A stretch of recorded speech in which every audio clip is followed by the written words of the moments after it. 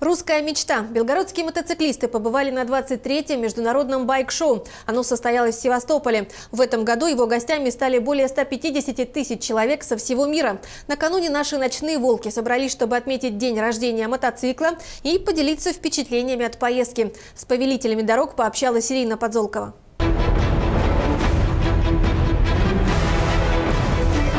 Рев моторов, языки пламени и овации многотысячной толпы. Так проходило самое массовое и зрелищное мотоциклетное мероприятие на территории страны. Его ежегодно проводит Всероссийский мотоклуб «Ночные волки». Наряду с традиционной программой, концертами рок-групп и конкурсами было подготовлено яркое и зрелищное шоу. Оно включало в себя набор трюков с участием актеров и каскадеров, а также музыкальные, лазерные и пиротехнические эффекты.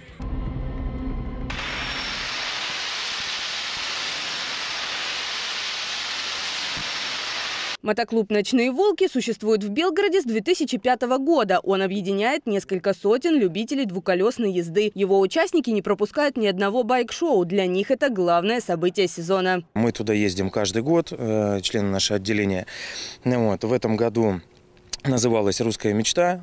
Э, вот. Кульминация очень поразила, как всегда, э, яркость, э, красочность и э, очень масштабно, очень много людей задействовано в этой кульминации. И очень много действий было в этом году, то есть очень много, очень хороший сценарий.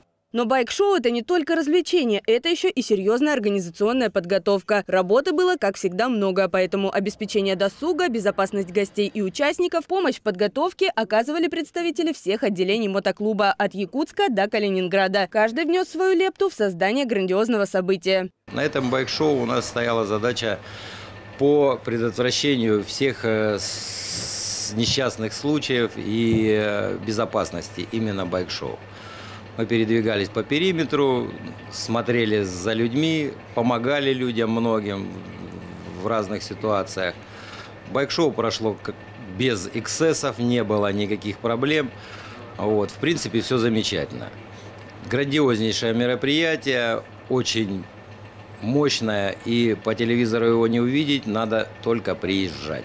В этом году участниками грандиозного шоу стали 150 тысяч человек со всего мира. Окунуться в атмосферу всеобщего праздника смогла и наша коллега, заместитель редактора, ответственный секретарь газеты «Наш Белгород» Марина Миндолина. Больше всего эмоций у нее вызвал мотопробег после кульминации шоу. Колонна, тянущаяся от горизонта до горизонта, в которой э, каких только мотоциклов нет и людей из каких только стран не встретишь, это, это просто замечательно. То есть, когда голова колонны уже на э, площади на Нахимова, хвост еще где-то на полпути, наверное, к Севастополю. И все, все эти люди, все эти мотоциклы занимают огромное пространство этой площади, общаются с местным населением. Люди радуются очень. И за эти годы они привыкли к тому, что здесь проводится байк-шоу. Они встречают, машут флажками, шариками, снимают на телефоны, хлопают в ладоши, машут. Байк-шоу – ежегодное, самое масштабное событие, которое объединяет всех любителей железных коней. Но на этом расслабляться пока рано. Впереди у ребят закрытие мотосезона. Оно состоится 29 сентября. Ирина Подзолкова, Александр Поддубный. К этому часу Белгород.